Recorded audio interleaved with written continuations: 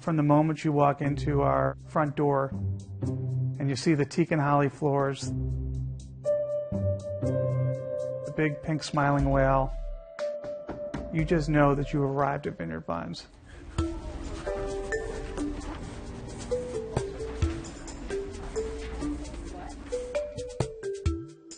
Shep and I are real guys.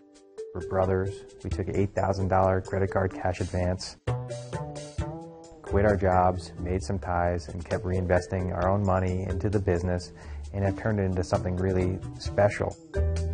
We are not a fashion brand, we're a lifestyle brand. And, and that's been really, really helpful when we charted the course of designing this office. Hey guys, what's going on? Hey Meg, how are Hello, you? Meg. When we went to look for a new office, we had a few criteria. We wanted to be on the water, we wanted to be in our own building, and we wanted it to convey kind of like being at home. What's not to like about this? We wanted the whole building to sort of reek our brand. So you'll see our conference tables weren't bought from an office furniture place. We actually built them in the shape of boats. And every single floor has their own lounge, and they're modeled after our favorite places. So we've got the Florida Keys in one, we've got the Vineyard Boathouse in another, we've got the Bahamas.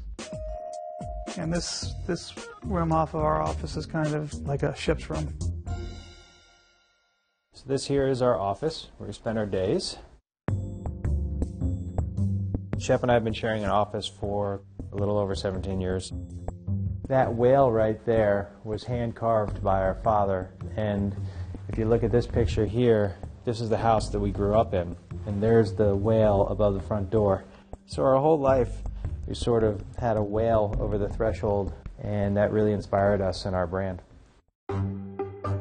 We love all these porthole tables that we've got a bunch of, and this was a coffee table that was in uh, our parents' house, and um, we don't even have a conference table in our office.